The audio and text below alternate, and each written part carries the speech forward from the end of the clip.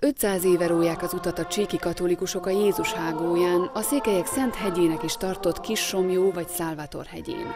A keresztutat járó szerzetesek és Csíksomjót felkereső zarándokok így juthatnak el Csíkszék legismertebb és egyik legrégebbi kápolnájához, a Szálvátor, valamint a közvetlen közelében álló Passió kápolnához. Általában a fő búcsús templomnak környezetében kápolnákat és szent helyeket építettek fel, ahová a búcsús zarándokok csoportonként elmentek, és ott szerettek imádkozni. Ahhoz a szenthez, akinek a tiszteletére volt építve a kápolna. Ez így van itt Csíksomjon is, hogy van ugye a Somjó hegyén a fő nagy kápolna, a Szálvátor kápolna, de ugyanakkor van a Szent Antal kápolna, és itt a templom előtti helyen pedig eh, a Nepomuki Szent János tiszteletére épített kápolna.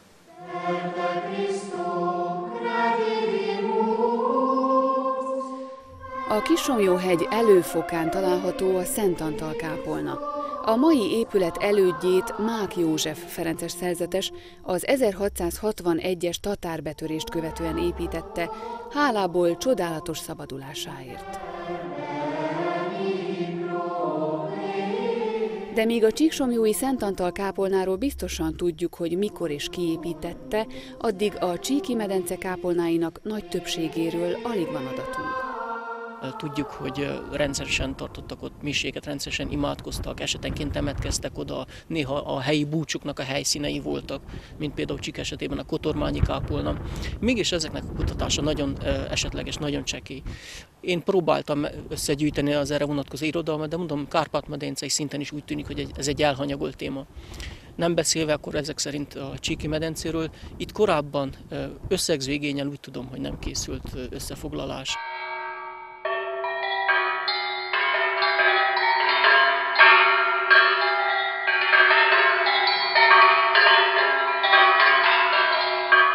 Egyes kápolnák kisebb templomoknak tűnnek, mások mindössze az oltár és a miséző pap számára nyújthattak menedéket. Mindenképpen a folyamatosan katolikus hiten maradt csíkban, már a középkorban az egyházi szervezet és hitélet fontos elemei voltak. Kápolnának azokat a kisebb építményeket nevezzük, amelyeket Isten tiszteletre céljára építettek, Viszont fontos őket megkülönböztetni a plébánia templomoktól. A kápolna egy kisebb rangú intézmény, vannak várkápolnák, sírkápolnák, keresztelőkápolnák, emlékkápolnák és egyéb kápolnák. Itt a Csiki medence esetében igazából három kategória jöhet szóba. Az egyik a normális, vagy az átlagosnak, vagy leggyakoribbnak tekinthető kápolna, ami bent van a falvakban, alapvetően abból a célból épült, hogy azokban a falvakban, ahol nincsen plébánia templom, ott a helyben misézést is meg lehessen oldani. Erre a kápolna típusra jó példa a Szent Háromság tiszteletére felszentelt Csík-Zsögödi kápolna, amely a Csík-Szent Lélekhez tartozó filiában szolgálta a híveket. Ez egyben azt is példázza, hogyan járulhatott hozzá egy jó módú család egy kápolna építéséhez, illetve annak fenntartásához falvak önmagukban nem építhettek kápolnát, csak abban az esetben, ha volt olyan patrónus, aki ezt az engedélyt a püspöknél ki tudta eszközölni. A cakok, akiknek itt zsögötben is lévén birtokuk, kieszközölték a püspöknél, és nyilván anyagilag is támogatták, hogy itt kápolna épülhessen.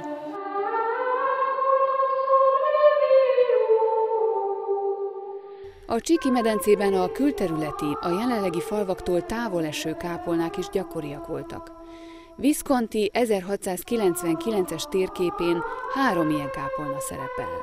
Több kápolna is fel van tüntetve erre a térképre, többek között a Szent László kápolna Polánhavason, illetve a Szép Havasi Szentlélek kápolna.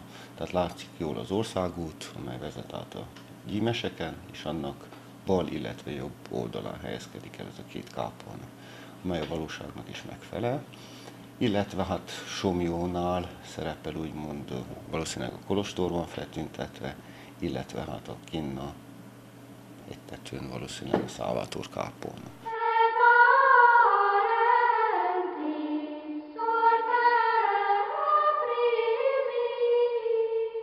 A fennmaradt leírások szerint a szép havasi kápolna a 18. században a csíksomjói búcsúra érkező csángó zarándokok és a csíki székelyek találkozási helye volt, ahol pünköst hétfőjén szentmisét hallgattak. A külterületi kápolnák funkciója viszont nem minden esetben ilyen egyértelmű. Például a Szent László kápolna esetében.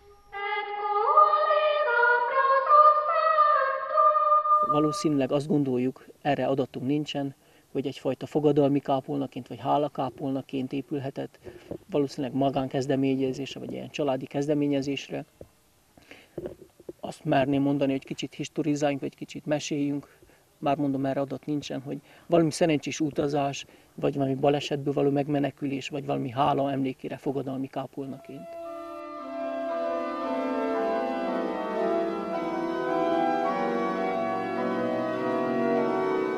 A kápolnák egy sajátos formája, a várkápolna, Csíkban csak egyetlen helyen fordul elő, a Csíkszeredai Mikóvárban, de ott egyenesen kettő volt belőle. Mai ismereteink szerint legalább két kápolnája volt a 17. században, az egyik az a főhomlokzaton az emeleten. Ez az az épület, ami, vagy az az épület rész, amelyik az 1752-es osztrák katonai felmérésen szerepel, illetve a kiugró erkély részének a lenyomatát a felújítás során a, a mm, végzett kutatásokkor sikerült megtalálni. Ez feltehetőleg az építető unitárius Hidvégi Mikó Ferencnek a kápolnája lehetett, közvetlenül a lakóépület szárny tőszomszédságában. A másik az pedig az épület átelenkező sarkában, a délnyugati saroktoronyban volt, amit később is az osztrák időben, illetve a laktanya időben kápolnaként használnak ennek van egy északi erkély része, illetve keleti irányba volt egy enyhén kiugró szentély része, amit már a 18. század elején a Steinmill féle átépítéskor elfalasztak. Arra a kérdésre, hogy Hargita megye székhelyén, a mai Csíkszereda területén hány kápolna lehetett, nincs pontos válasz. Ez az 1750-es Winterféle alaprajz, amelyik a Mikovárra vonatkozik. Ezen szerepel úgymond a Mikovár közvetlen környezetében a maga a város Szereda. És ez a Szeredán belül pedig fel van tüntetve egy keletelt, szentélyel ellátott épület, ami feltételezhetően egy kápolna lehetett, vagyis Szeredának a korai kápolnája. Néhány biztos pontot tehát magát a várat, Somjópatakát figyelembe véve rá erőltettük, rá nagyítottuk, vagy illetve széthúztuk a térképet, és ráhelyeztük a mai ortofotóra a városnak, és a, gyakorlatilag a kápont, tehát jól mutatja az utca, tehát a régi Kossuth fő utca úgymond megtalálta a helyét, vagy megvan a helye, viszonylag jó helyen, és ez viszonyítva pedig, hogyha a kápolnát nézzük, akkor a mai megyeháza alá kerül. Ugyanezen a térképen tehát ezen az 1750-es térképen továbbá szerepel még a, úgymond a Zsögödi templom is, illetve a taplocai éppen csak a szélén úgymond az alaprajznak, az valószínűleg a Szent Lőrinc kápolna. Egészen szép vagy, Mária. Egészen szép vagy, Mária. Eredeti bűnnek szentje, nincs te A Csíki medence eddig ismert legrégebbi kápolnái a Csíkszent Margit, valamint a Csíksomjói Szálvator kápolna. Keltezést az tulajdonképpen a falkép kutatók és a restaurátorok segítségével lehetett nagyjából meghatározni, ugyanis a, a Szentély Diadalivinek nyugati homlokzatán, nyugati falán két freskó töredék is előkerült, amelynek a keltezését 14. század második felére legkésőbb a 15. század első felére teszik. Tehát, és nem az első vakolatrétegre kerültek ezek a falképek.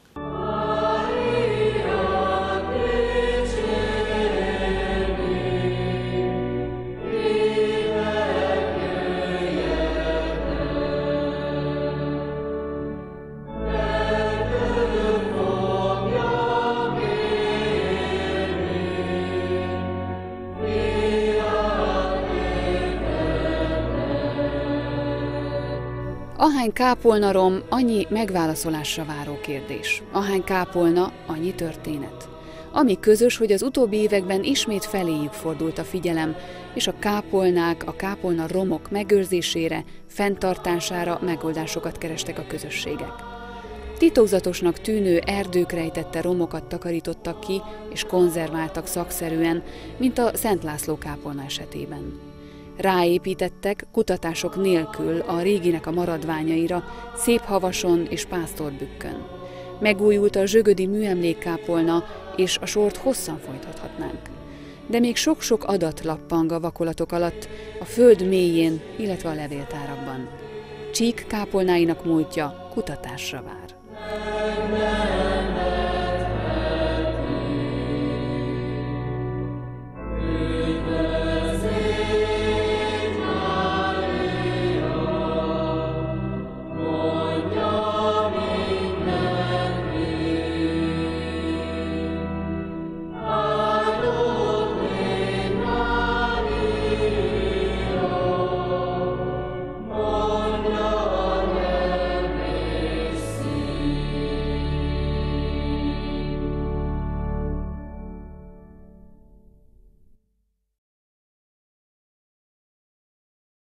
Igen kedves ünnepségnek voltak részesei Ehó 8-án Hargita fürdőn.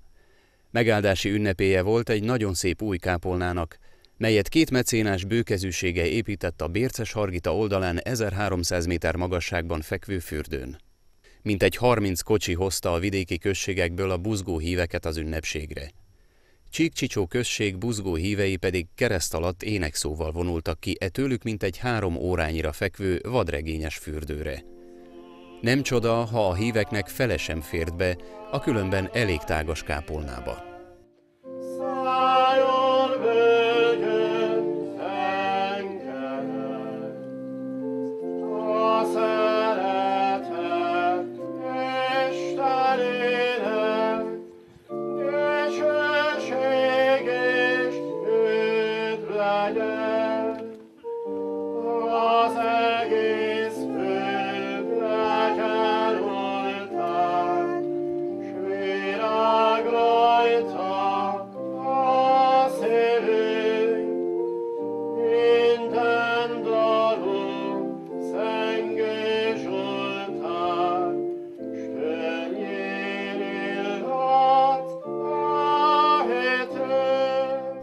Kápolnát szenteltek 1909. augusztus 8-án Hargita fürdőn. Csík vármegye 1350 méter tengerszint feletti magasságban, festői környezetben található fürdőtelepe ekkor indult gyors fejlődésnek. Moffettáit már az 1800-as évektől használták gyógyászati célokra, sőt egyes adatok szerint már a 17. században is ismerték. A gyógyulást kereső és nyaranta néhány hetet Hargitafürdőn töltő embereknek lelki gondozásra, imádságos helyre is szükségük volt.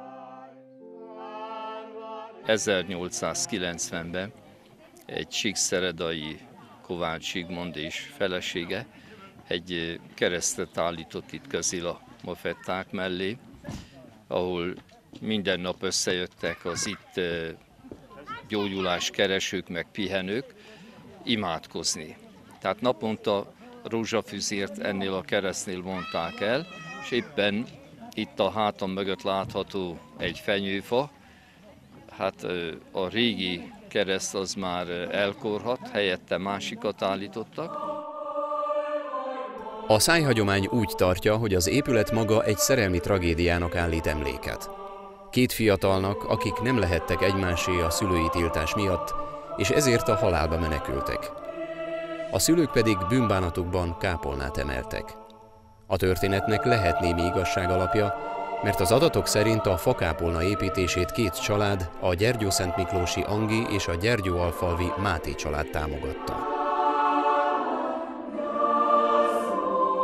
Kápolna építésének kezdetét egyes források 1904-re, mások 1905-re teszik, de a szándék korábbi volt, ugyanis, amit ez az újságcikk is bizonyítja, már 1902-ben zajlott gyűjtés a kápolna alapjavára.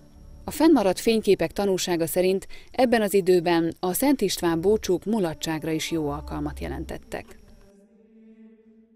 Augusztus 8-án áldotta meg, mert a püspök szenteli fel, ugye, a más pap csak megáldja a kápolnát Szent István tiszteletére, Mikes János udvarhelyi felsperes, később Magyarországon püspök, és a Csik, Csicsói plébános volt a szónok. Azóta nyáron rendszeresen miséztek az itt pihenő papok.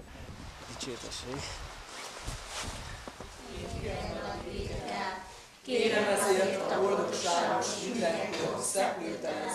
Az életnagyságú Szent István király szobrot Csedő István csíkszeredai ügyvéd ajándékozta a kápolnának 1909-ben.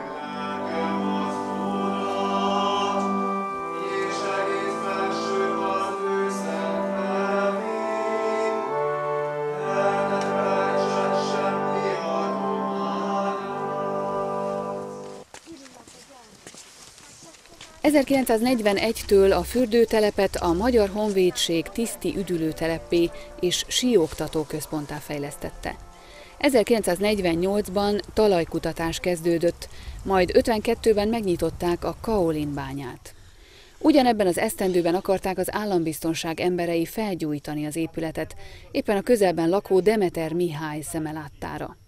Ő 96 évesen, néhány évvel ezelőtt idézte fel a történteket úgyis jöttek a gyutság fel. És az állat a sarkam meg a Ford, a kocsi, tegyék fel, és vigyésen adjan a kápolnának tüzet. Kiadtam segítséget, akkor Csicsai bírót a lövőtei házaknál ott kapackálmás, meghallottam, segített. Aztán látták ők is, hogy meg többen kerültünk, aztán elmenekültek. De hát addig verekedés olyan volt a kartot, kitörtem a, a kert mellő a karocsával, melyiket, hogy értem. Igaz, én is kaptam az én óramból süt a vérde. Legyőztem őket, na. A terület eredetileg a Csíkcsicsói közbirtokosságé volt, és maga a fürdőtelep is a csicsói gazdák birtokán jött létre, így közigazgatási és egyházi szempontból is Csíkcsicsóhoz tartozott. Később Csíkszeredához csatolták. Az 1950-es évek második felére a telep állandó lakóinak száma 700 fölé emelkedett, és a hívek igényelték a rendszeres lelkészi szolgálatot. Megkérték a püspököt, eh, Mátonáron püspökatyát, legyen szíves, engedje meg, hogy a síkszerdai plébános a misét vasárnaponként tartson. Hát 57. januárban a házszentelést is megtartották, hát nagy lelkesedés követte mindezt, hittanórákat, első áldozást tartottak, és Csíkszeredából kihozták a katolikus főgimnázium oltárát, amit 48-ba kitettek, hát kihozták ide Hargitafürdőre, és az itteni oltárt a Csíkszentgyörgyi egyházközségnek adták, akik a Csángó telepre, Egerszékre vitték el, és ott helyezték el. Hát az oltár betöltötte a szerepét addig, amíg a, a Csík Római Katolikus Főgimnázium ismét felújult, és visszatérhetett az oltár a régi helyére, akkor csináltattunk Szentpéteri Istvánnal egy új oltárt, ahhoz hasonlót, ide Hargita fürdőnek, most ez van itt,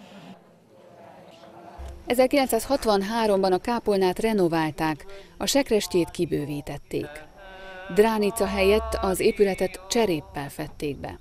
A következő évtizedekben fokozatosan csökkent Hargitafürdő lakóinak száma, és 1992-ben már csak 324 állandó lakosa volt. A 2000-es évek elején a kaolin bányászat megszűnt. Közben 2000-ben sikerült elérnünk, hogy Bukarestben a vallásügyi osztály, jobban mondva a kultuszminisztérium jóvá hagyta, mint a Gyulafehérvári érsekség önálló plébániáját, Hargita fürdőt. És ezen az alapon tudtunk pályázni, ez 2007-ben és 2009-ben felújítottuk alapjaitól kezdve a Szent István kápolnát, templomot, amit éppen a századik évfordulón alkalmával dr. Jakobin György érsek, Atya és Tamás József Püspök úr szenteltek föl, és ekkor kaptuk a, az égi sugallatot, hogy ha már plébánia, akkor legyen plébánia épület is itt, a plébánia templom mellett. Néhány éve megszűnt a Hargita-fürdői plébánia, és a kápolnát ismét a Csíkszeredai Szentkereszt plébánia vette gondozásba. 2013-ban a kápolna Szent István búcsúján Bátor Botond, a Pálos rend tartomány főnöke tartott nagy erejű prédikációt. Ahhoz, hogy megértsük különben a nemzeti önazonosságunknak, hovatartozásunknak a fontosságát, Szent István király fiának intézett intelmeit kellene megtekintenünk. Ebben van egy olyan kitétel, ahol az idegenekre való utalással azt akarja fiának elmondani Szent István király, hogy az országodban adj helyet az idegeneknek. Egy, mondhatom így, modernen gondolkodó király. Kedves testvérek, az idegenek számára is otthont adó országot akart ő teremteni, és ezt akarta szem előtt tartatni a fiával, és nekünk is ezt kell szem előtt tartani. Darvas Kozma József főesperes bejelentette, hogy azt reméli, 2014-ben már a Hargitafürdői kápolnánál egyben a Pálos Kolostor búcsúján vehetnek részt a hívek.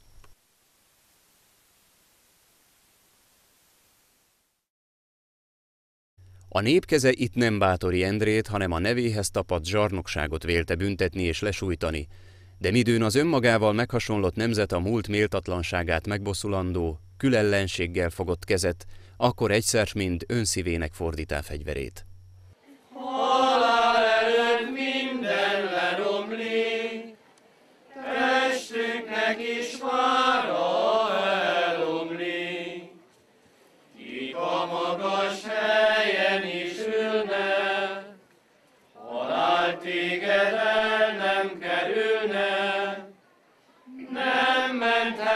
Kincs vagy uraság, mert előtted hatalmasság.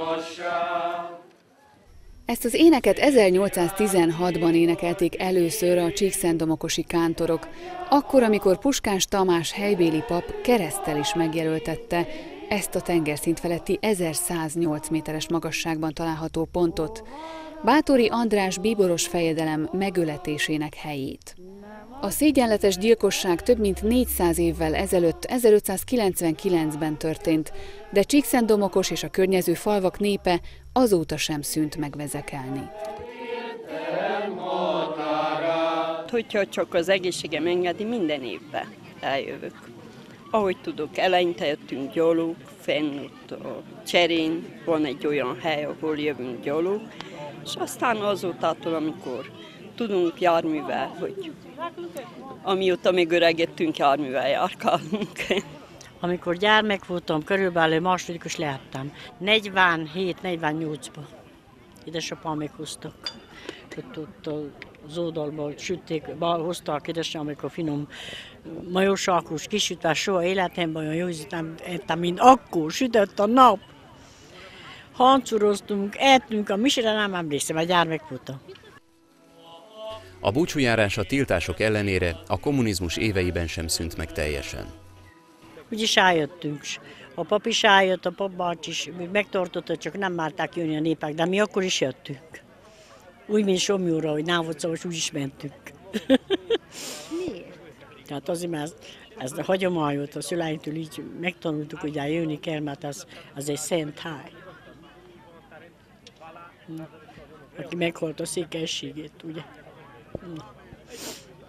Elég, elég szégyen, hogy a Domokos és a Szent Tomások voltak a gyilkosok, ugye? Ördög Balázs, a Domokosi, milyen nagyon drás, Kristán nagyon drás nők voltak. Ők voltak felbérelve. Hogy aztán nem tudom, annyi aranyat kaptak, és közben nem kaptak semmit, én így hallottam a szüleimtől. Egy este kiszólította, és többet nem látta senki, egyiket sem. és Bátorit megölték. Én így, így hallottam, és így tanultam, hogy volt itt egy ilyen, egy ilyen kunyhó, egy pásztorház, és ugye ott fáradva Bátori, hogy de megkereszkedett, és amikor ott elaludt a fáradtságból, Leánynak az ölibe hajtott a fejét, és a leány valami teát adott neki, és egyszer bukatnak a kutyák, dob, a lóva, dobogtat a lóva, mert érezte, hogy jön az ellenség gazdája után. És amire a leány észbe kapott, hogy felébressze a, a, a bátorit, akkor a megfogták és elvitték. És többet vége, lefejezték. A bíboros fejedelem halálának körülményeiről számtalan hasonló, legendává lett történet él. A szakirodalom szerint Mihály, havasalföldi vajda, kihasználva az erdélyi fejedelemség éles belső ellentéteit, haddal támad Bátorira és a hozzá csatlakozott székelyek segítségével a Szeben melletti Szellemberknél legyőzte. A Moldva fele menekülő Bátorit ezután gyilkolták meg Csíkszentdomokos határában a Mihály Vajda által felbérelt székelyek.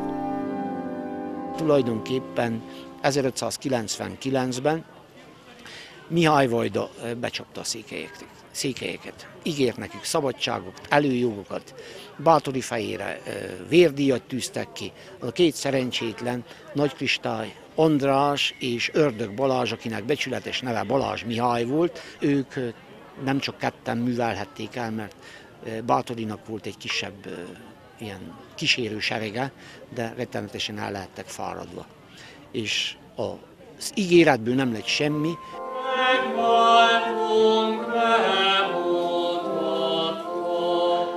Csíkszándomokos és Felcsík lakóit, mint a bíboros fejedelem halálában közreműködőket, egyházi átokkal és száz évre szóló pénteken és szombaton tartandó bőjtel sújtotta a pápa. A híres bátori házból születtem nagy és fényes ágból, Bíbor bácson sejem fedezze, szép köcs napfényt és őrizte. A gyilkosság helyére keresztet emeltek, majd megszületett a kápolna építésére vonatkozó elképzelés is. 1899-ben gyűjtés indult a Bátori emlék felépítésére, de a kápolnát végül csak 1907. október 27-én szentelték fel a Vármegye jelentős adományának köszönhetően. A felszenteléskor a tudomásunk szerint két harangja is volt a kápolnának. Azt, hogy miért és miért nem, nem tudom, mert leírások nem állnak rendelkezésünkre. A gyimesi csángók hoztak két harangot.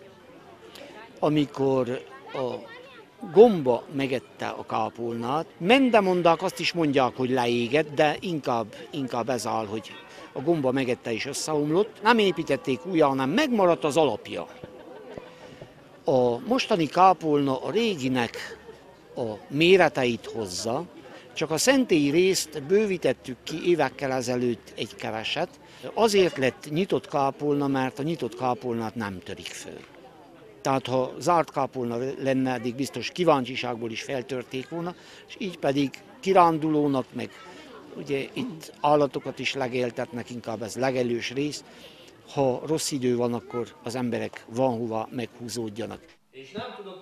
Az új nyitott kápolna 2012-ben készült el pályázati alapokból, valamint Kedves Imre megyei pénzügyigazgató hathatós támogatásával.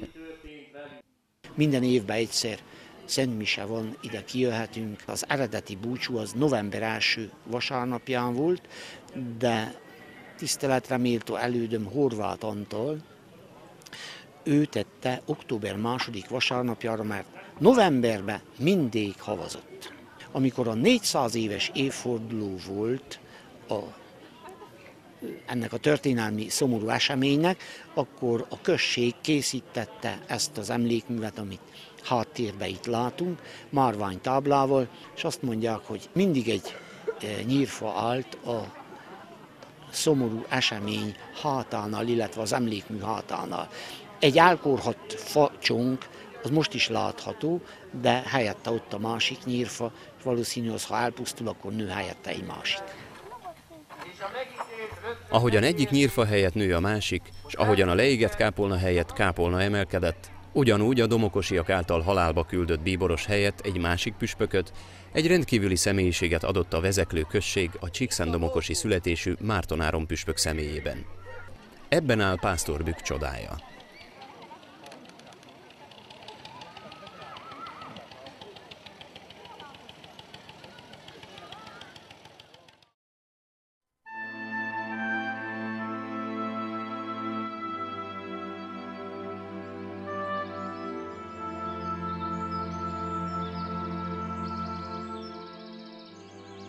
Akkoriban történt, amikor a kövek még lágyak voltak, hogy a kunok óriási tömegekben özönlöttek az országba, pusztítva, rabolva és rapszíra fűzve az útba eső falvak lakóit.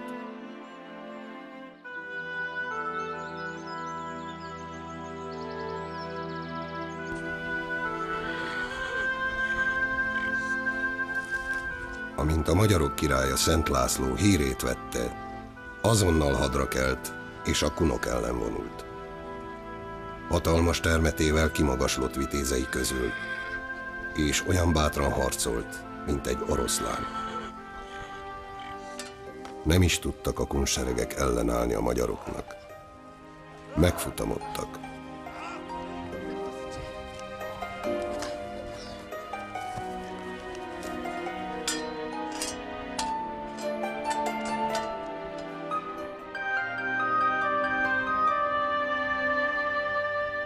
Nagy király pedig Pogányhavasnál az egyik véres ütközet helyén hálaimát mondott az égurának, és emlékkápolnát építetett.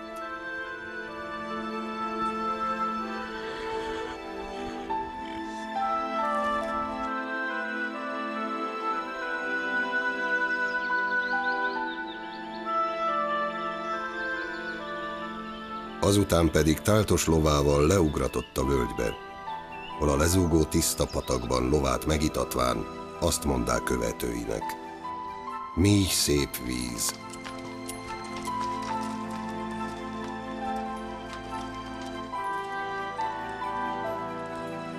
Azóta nevezik a patak mellé épült falut. Szép víznek. A szikla pedig, amelyről nagy királyunk lova nekirugaszkodott az ugrásnak, ma is őrzi a patkonyomokat.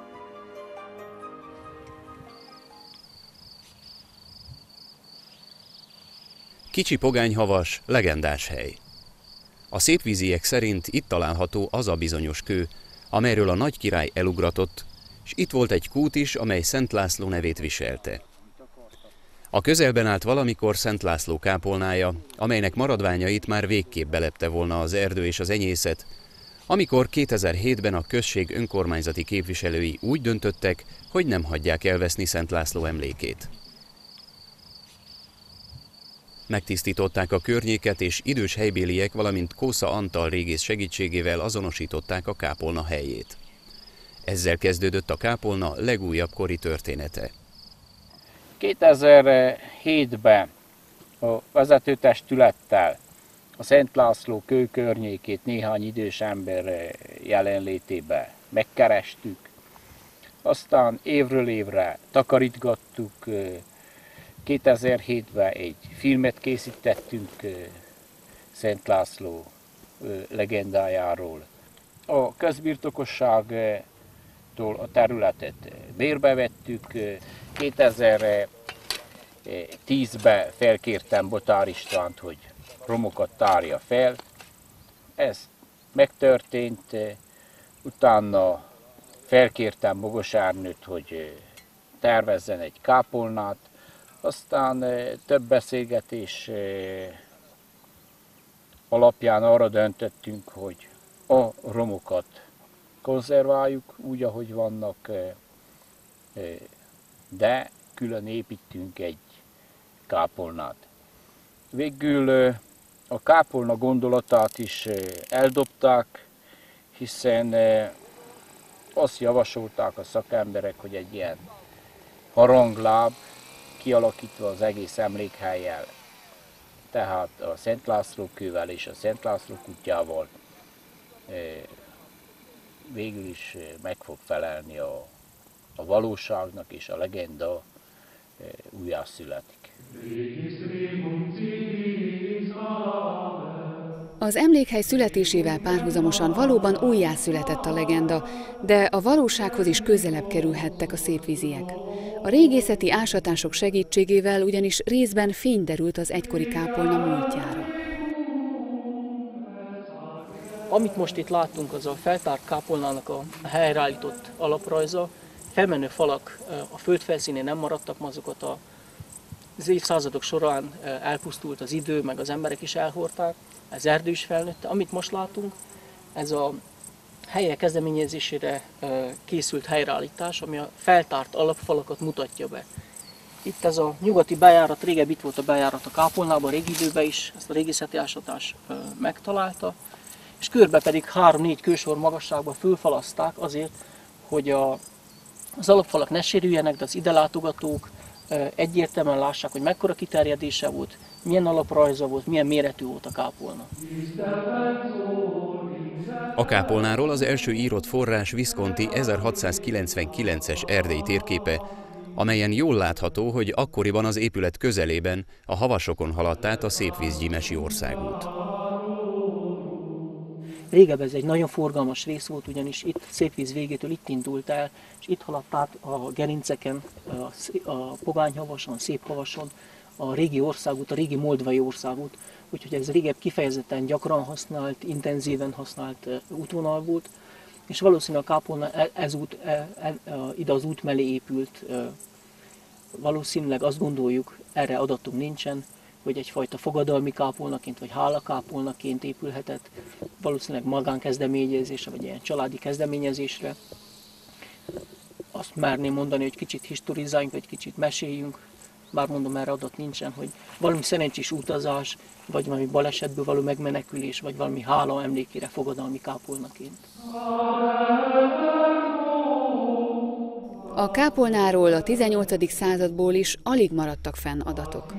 Gál Hunor diákonus a Gyulafehérvári érseki levéltárban bukkant egy 1744-es vizitációs jegyzőkönyvre, amely szerint a Pogányhavasa nevű hegyen van egy kápolna az őrangyalok és Szent László király tiszteletére szentelve. És ugyanebből a dokumentumból az is kiderül, hogy Csutak András gondozza, aki azt felrenováltatta. A Csíksomjói Ferences történetíró Losteiner Leonard azt is feljegyezte, hogy ebben az időszakban rendszeresen búcsút tartottak a kápolnánál Szent László király ünnepén. Sajnos az idő vasfoga kikezdte, ugyanis az 1817-es vizitációs jegyzőkönyv szerint, amelyet Batyányi Ignác alatt készítettek, már roskadozó állapotban írja le a kápolnát, amely ismét húsz év elteltével Gegő Elek Ferences szerzetes itt járt, akkor már csak romos állapotban maradt meg. A 19. század közepén Orbán Balázs már csak a 12 lépés hosszú, 7 lépés széles félkör absziszú szentének alig két láb vastag falait látta, amelyek még néhány láb magasságban megvoltak, de a 20. század közepére megfogyatkoztak a kövek. Valószínűleg éppen a kőbeszolgáltatásra kötelezett falusiak bontották le, így a 2010-ben végzett régészeti feltárás már csak a kápolna legalsó kősorát tudta megtalálni, dokumentálni. Ami az ásatásnak az egyik legérdekesebb eredménye volt, hogy arra számítottunk a régi leírások alapján, hogy a kápolnának félköríves záródása van, ami nagyon korai korszakokra jellemző, és Orbán Balázs is még így írta a kápolnát. Az ásatás során kiderült, hogy valójában ilyen egyenes, illetve ilyen szögletes záródása van, ami mindenképpen arra mutat, hogy egy későbbi időszakban készült, nem, nem az Árpád korban. Ami még érdekes, azt szerintem fontos elmondani, hogy a keleti falat is sokkal vastagabbra építették, mint a többit, Valószínűleg azért, mert ezen az részen itt helyezkedhetett el maga az oltárasztal, kicsit magasabban erre tettek rá egy olyan oltárt, amit nyilván nem találtunk meg, de a vastag fal mutatja, hogy itt valamikor a templom berendezéséhez egy valamilyen felmenő, faragott szépen táblákkal, talán szobrokkal ellátott oltár is tartozó. A Gyulefehérvári Éseki levéltárban található a Csíkszent Miklósi plébáni átadási leltára, amely 1869-ben készült. Ebben az egyik pontjában említést tesz a valamikori pogányhavason áldott kápolna egyik oltár képéről, amelyet Szent László ábrázolja csatabárdos képpel. A feltételezések szerint a kápolna megrongálódása után ez az oltárkép a Csíkszent Miklósi templomba került, majd a szépvízi Havas Boldogasszony kápolna raktárában bukkant rá Péter Alfred helyi gyűjtő. A szóban forgó festmény művészettörténeti vizsgálata még hátra van. Ez tudná alátámasztani teljes bizonyossággal a kép eredetét. Lezárult viszont a kápolnaromok kutatása, amely bebizonyította, hogy a részben sziklára épült zsindeljel fedett kápolna nem középkori, hanem a 17. században épült. A romok konzerválására 2012-ben a Bogos Ernő építész által tervezett emlékhely kialakításának részeként került sor.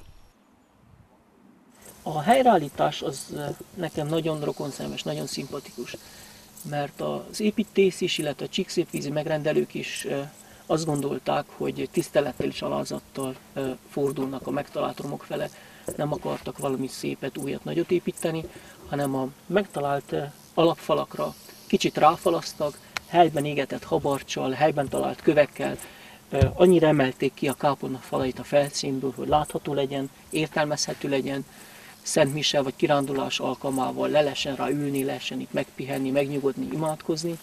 Mindenkinek jól esik úgy ezen a szellős, levegős, tágas téren úgy leülni a fáradt vándornak a harangláb alatt, körülnézni, betekinteni a romokra, és ott azt a több száz éves magyar emléket rögzíteni, feldolgozni.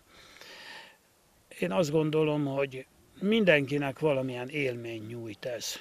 A fáradtnak pihenést, az éhesnek evési lehetőséget, a ki érdeklődik, látnivalót.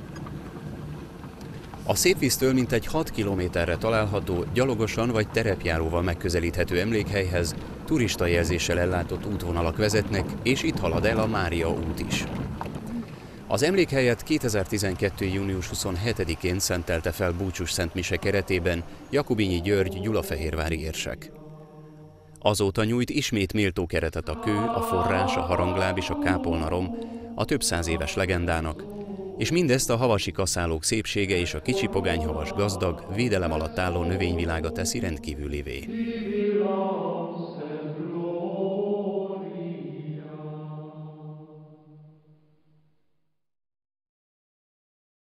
Ezek a romok még alig egy század előtt búcsújárók áhítatos énekeit visszhangozták, melyek a honkívüli magyaroknak a honban levőkkel való összeköttetésének, testvéri találkozásának voltak minden évben felkeresett gyűlpontjai, mely a vallás szent malasztjával, a hit erős kötelékével fűzi e hazához künlévő, idegen földre települt testvéreinket.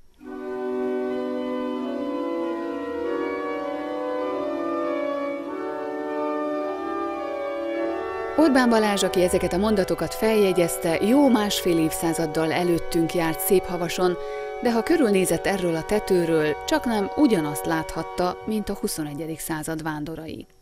Itt ülünk a szép havas tetején, csodáljuk jobb oldalt a csíki falvak fekvését, hegyeket, völgyeket, patakokat távolban, és a bal oldalunkon pedig a Gyimesi szoros fut le, gyönyörű épületeivel, völgyeivel, patakjaival együtt.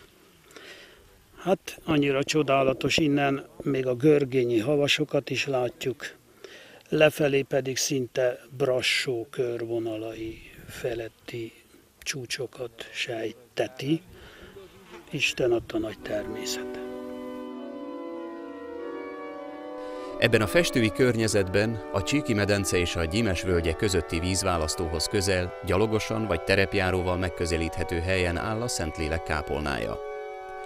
Építésének idejét nem lehet pontosan tudni, de az utóbbi években végzett kisebb leletmentő kutatás során az omladék alatti járószintről egy 16. század végi pénzveret került elő. Ez egyértelműen arra utal, hogy a kápolna a 16. század végén már használatban volt. A Szentlélek kápolnára vonatkozó első írásos adatok 1630-ból, illetve 1649-ből maradtak fenn. Az épület szerepelt Visconti 1699-ben rajzolt térképén is. A 18. század második felében a forgalmas országút mellett már két kápolnát tüntetett fel az első katonai felmérés készítője, de látható nyomai a 21. század elejére csak az egyiknek maradtak. Ennek félköríves szentélye a hajóval azonos szélességű, mintegy 6,7 méteres volt, az épület hossza pedig 17,6 méter lehetett.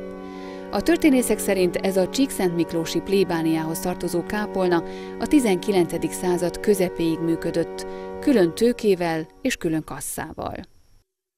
A terület hajdanán egészen a legújabb időkig szépvíz lakosai volt, szépvízi terület volt. Lassan aztán a gyimesiek megvásárolgatták kisajátították, szóval sokféle úton, módon kerülhetett az ő tulajdonukba. Most már itt a szépvízieknek, itt a közelben, ahol most ülünk, nincsen területe. Tehát ez most a gyimesiek tulajdona. A régi épületnek ma már a nyomai is alig látszanak. Mivel hivatalosan nem nyilvánították régészeti lelőhelyé, újabb kápolna épült az egykori építmény alapköveinek felhasználásával, egy részének az áthelyezésével. Az új építmény a kisbényi körkápolna mintájára épül, annak ellenére, hogy szakértők szerint szép havason soha nem állt rotunda. Beraktuk a felszentelési kereszteket, tehát a 12... A kápolna építés támogatására jött létre a Szép Havas Egyesület, amely összegyűjtötte a befolyó adományokat. A munkálatok elsősorban összefogással, kalákával zajlottak. Ez egy megjelölt hely volt a középkorban. Itt jöttek a keresztalják, a moldvai csángók, a veszeglőzárral lettek ők kirekesztve, és itt jöttek át, itt találkoztak a csiki székelyekkel. Nagyon szép Orbán Balázsnak a, az ide vonatkozó írás a Székelyföld leírásában, hogy nagyon szépek és kiesek voltak a a magyarság találkozásai ezen a helyen. A Csíksomjai búcsúból ugyan visszakísérték a csíkiak és népünnepéjel váltak el. Én magam is ezért vállaltam ezt, mert üdvösnek láttam meg, nagy dolognak láttam ezt az összefogást, ami akkor megvolt. Ő maga Urbán Balázs is összefogásnak hívja, és én is ezt kérdeztem meg, mikor ezt elvállaltam, és kérdeztem, hogy Miért kell ide visszaépíteni, hogy ez a magyar összefogás kápolnája? A Széphavas Egyesület kezdeményezésére néhány éve ismét együtt hallgathatnak itt misét pünköst hétfőjén magyarok és csángó magyarok. Az új kápolna felszentelésére 2014-ben szintén pünköst hétfőjén kerül sor. Örvendetes esemény, mégis sajnálatos, hogy nem sikerült szakszerű ásatásokat, leletmentést végezni, így talán mindörökre homályba vész, hogy mikor, kik és milyen céllal építették szép havas Szentlélek kápolnáját.